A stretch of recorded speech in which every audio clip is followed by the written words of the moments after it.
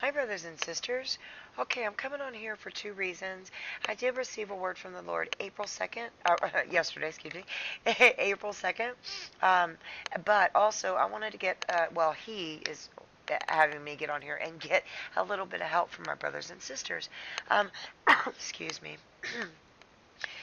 my uh, for the for the past uh, several weeks he has been showing me the numbers 22 and 44 repeatedly. Now he's been showing me a lot of double numbers. I've been seeing double numbers everywhere. But really 22 and 44 and about a week ago he made me realize he was trying to tell me something. So you know i i searched them up. I've looked at them on google on on bible hub and you know i really haven't found or understood what he's trying to tell me.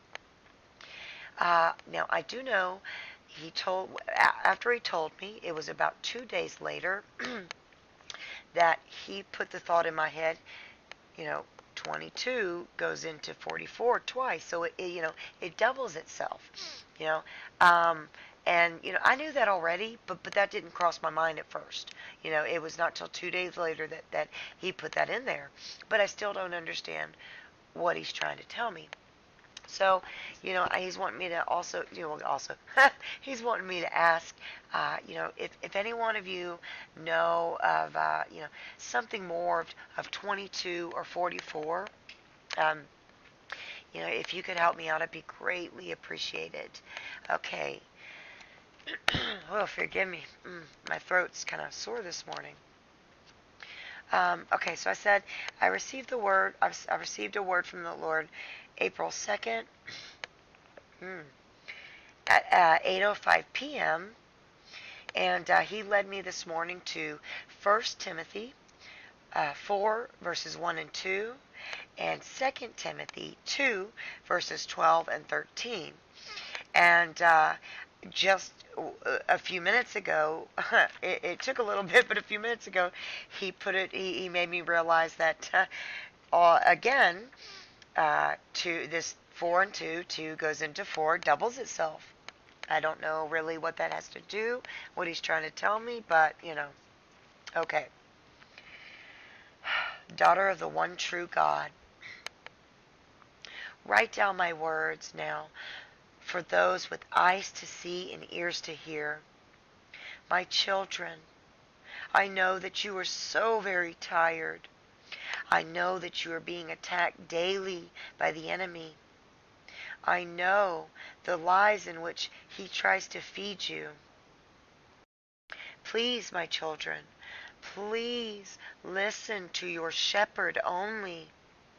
Do not believe in his lies that I am not coming, that you are not worthy to go with me.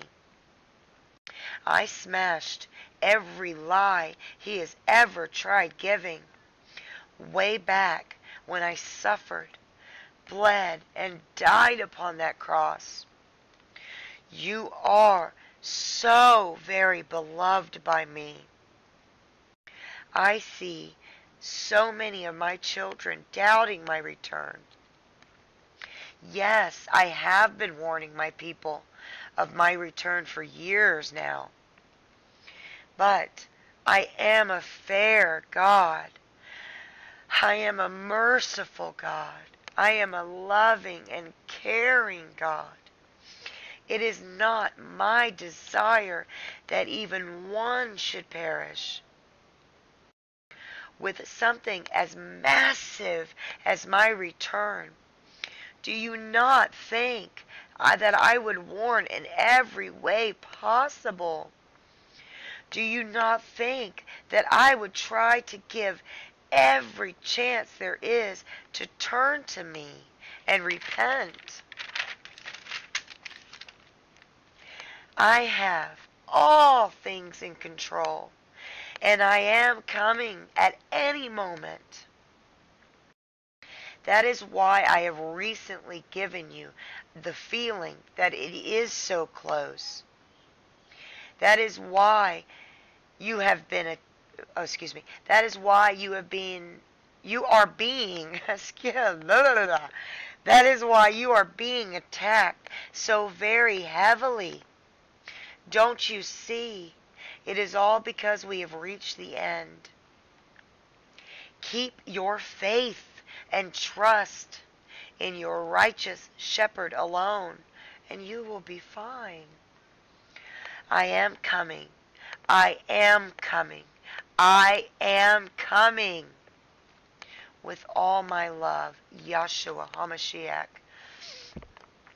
Okay, brothers and sisters. So, you know, he's telling me to say, we must trust in the feeling that he has given us. I know I am not the only one that he has given this feeling that we are we are so close. This is a new feeling.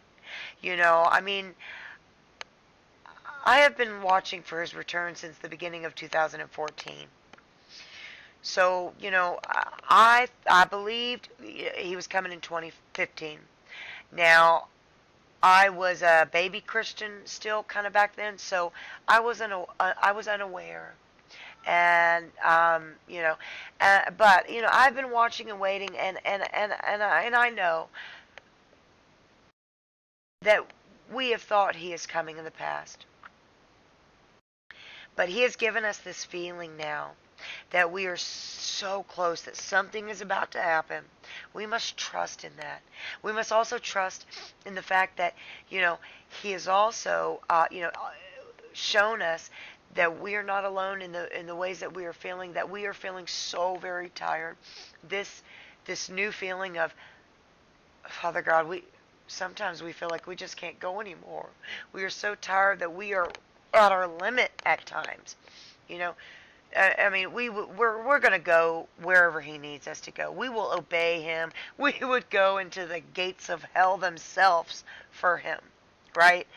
But we do feel at the at times we just we can't go anymore and we've reached our limit. We have been praying for strength, renewed strength. We have been praying that He would take these arrows out of us, that He would stand us back on our feet, that He would heal us if He is not coming at any moment. If if we, we got some time left, we've been praying for renewed strength and all that.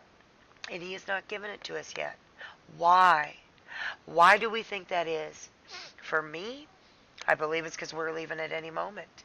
You know, I know He is a loving God. He would give us this strength in a heartbeat if we had some time left to go. And I, don't, don't get me wrong, I am not saying we are leaving. We are leaving. We are leaving. I know for a fact we're leaving. No.